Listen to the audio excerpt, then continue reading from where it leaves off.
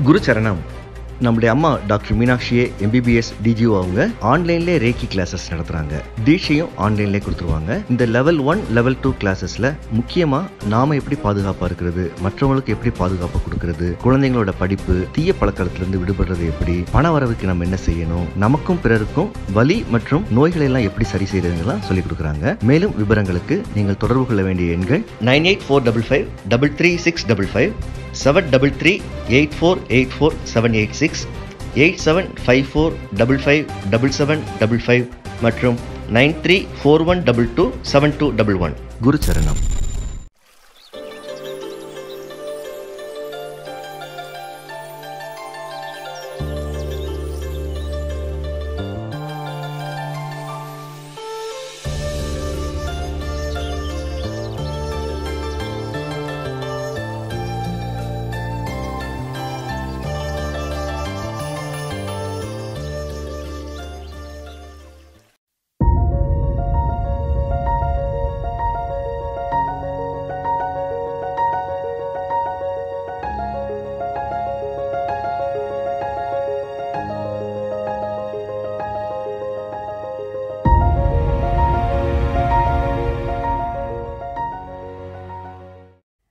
சரணம்.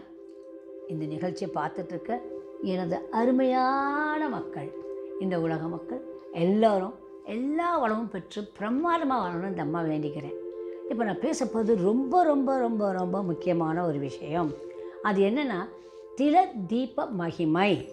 தில தீப மகிமை எதுக்குன்னா விற்க முடியாத சொத்துக்கள் கோர்ட்டு கேஸு கடன் பிரச்சனை நிறைய வேறு பிரச்சனைகள்லாம் எனக்கு இருக்குது வித்தியாசமான பிரச்சனைகள் நான் வெளியே சொல்ல முடியாது. நிறைய பேருக்கு இருக்குது இந்த மாதிரி பிரச்சனைகள்லாம் தீரத்துக்கு நான் என்ன செய்யலாம் அப்படின்னு நீங்கள் கேட்டிங்கன்னா அதுக்கு உண்டான பதில் தான் இப்போ அம்மா சொல்ல போகிறேன் சுருக்கமாக சொல்லி முடிக்கிறேன் பாருங்கள் நீங்கள் ஆனால் நல்லா கவனமாக கேட்டுக்கோங்க.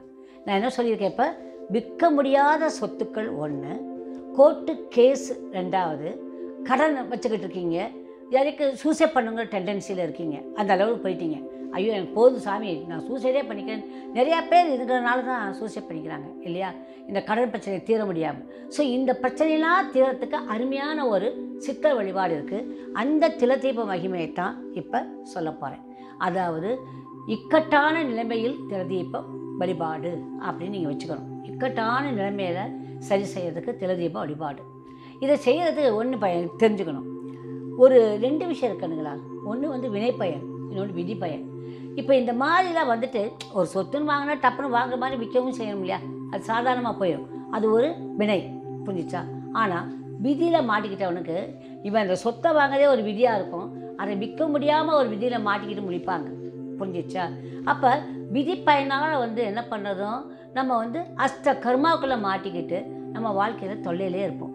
இந்த தொல்லையை தீர்றதுக்கு என்ன பண்ணியிருக்காங்கன்னா நமது முன்னோர்கள் நம்ம சித்தர்கள் ஒரு வழியை சொல்லியிருக்காங்க. அந்த சித்தர் வழியை நான் இப்போ உங்களுக்கு சொல்ல போகிறேன் சரிதானா? எப்படின்னு பார்க்கலாம். ஒரு மண் சட்டியை எடுத்துக்கோங்க. அது வட்டமான சட்டியாக இருக்கணும். ஒரு ஓரளவுக்கு சின்னதாக எடுத்துக்கோங்க. ஓகே? அதில் என்ன பண்ணுறீங்கன்னா கருப்பட்டி எள்ளு கருப்பு எள்ளு. இந்த கருப்பு எள்ளையும் கருப்பட்டியும் இடித்து பொடியாக்கி வச்சுக்கணும் மிக்சியில் இடித்து அது என்ன பண்ணோம்? அதனுடைய முக்கால்வாசி பானைக்கு போட்டுக்கணும். நீங்கள் இவ்வளோ பெரிய பானை வைக்கிறீங்கன்னா இவ்வளோ பெரிய பானையில் முக்கால்வாசி அந்த கருப்பட்டியும் எள்ளும் ஈக்குவல் அமௌண்ட்டு கலந்து அதை பொடி பண்ணி அதில் போட்டுக்கிறீங்க. போட்டு நல்லெண்ணெய் இருக்குது இல்லையா? அதுக்குள்ளே ஊற்றுறீங்க அதை ஊற்றி வச்சுக்கிறீங்க. வச்சுக்கிட்டீங்களா? நல்லா நல்லெண்ணெய் சும்மா துவைகிற அளவுக்கு இல்லை. அதில் விளக்கு போடணும் இல்லையா? அந்த அளவுக்கு நல்லெண்ணெய் வந்து அதுக்கு மேலே ஒரு இன்ச்சுக்கு வந்து என்ன இருக்கணும்? எண்ணெய் இருக்கணும். நல்லெண்ணெய். சுத்தமான செக்கெண்ணெயாக இருக்கணும். அது வந்து அந்த இதுக்கு மேலே எளிய ஒரு இன்ச்சுக்கு இருக்கணும் அந்த எண்ணெய். இது நனைஞ்சு முடிஞ்சு அதுக்கு மேலே ஒரு இன்ச்சு. நல்லா புரிஞ்சுக்கிட்டிங்களா? அந்த எள்ளும் அந்த நம்ம கருப்பட்டியும் அதுக்குள்ளே நனைஞ்ச முடிச்சதுக்கப்புறம் நல்லா அது கலரி விட்டு முடிஞ்சு அதுக்கப்புறம் அது மேலே ஒரு இன்ச்சுக்கு எண்ணெய் இருக்கணும் நல்லெண்ணெய். புரிஞ்சிச்சா? அப்போ இவ்வளோ பெரிய பானை எடுங்க கரெக்டாக இருக்கும் இல்லையா? அப்போல இருபத்தி ஏழு பஞ்சு திரிய போடணும். இருபத்தி ஏழு இப்படி ஒன்று ரெண்டு மூணு நாலு அஞ்சு ஆறு ஏழு எட்டு ஒம்பது பத்து இருபத்தேழு தனியாக இருபத்தி ஏழு திரி அதில் போடணும். அந்த இருபத்தேழு பஞ்சத்திரியும் சுற்றி இப்படி வரிசையாக வச்சுருப்பீங்க. புரிஞ்சிச்சா? வச்சுக்கிட்டு இது என்ன பண்ணுறீங்கன்னா வெள்ளிக்கிழமை நைட்டு இதை ஊற வச்சிடணும். வெள்ளிக்கிழமை நைட்டே இதை நீங்கள் ஊற வச்சிருவீங்க ஊற வச்சுட்டு சனிக்கிழமை காலையில் ஆறு டு ஏழு அந்த திரிகளை என்ன பண்ணுறீங்க எரிய விடுறீங்க. எல்லாத்தையும் ஆறு டு ஏழு எரிய விடுறீங்க. காலையில் டு ஆறு டு ஏழு மட்டும்தான் எரியணும். அதுக்கு மேலே தேவையில்லை. அதே போல் சனிக்கிழமை இரவில் வந்து எட்டு டு ஒம்பது. இந்த ரெண்டு வேலைக்கும் அதை ஏற்றணும் அப்போ தான் உங்களுக்கு அந்த பவர் கிடைக்கும். அந்த வைப்ரேஷன் ஃபுல்லாக கிடைக்கும். அந்த தீபத்தினுடைய பவர் உங்களுக்கு கிடைக்கணும். ஓகே இந்த சேர்த்துறப்ப ஒரு மந்திரத்தை சொல்ல வேண்டியது. அது என்னென்னா தீபம் ஜோதி பரபிரம்மம். அதை உங்களுக்கு எழுதி அனுப்புவாங்க. தீபம் ஜோதி பரபிரம்மம். தீபம் நமோஸ்துதே. தீபம் ஜோதி பரபிரம்மம். தீபம் நமோஸ்துதே. கடன் நிவாரன் புரிஞ்சுதா? கடன் நிவாரம் திரும்ப சொல்கிறேன் தீபம் ஜோதி பரபிரம்மம். நோட் பண்ணிக்கோங்க. தீபம் நமோஸ்துதே. ஓகே கடன் நிவாரணம்.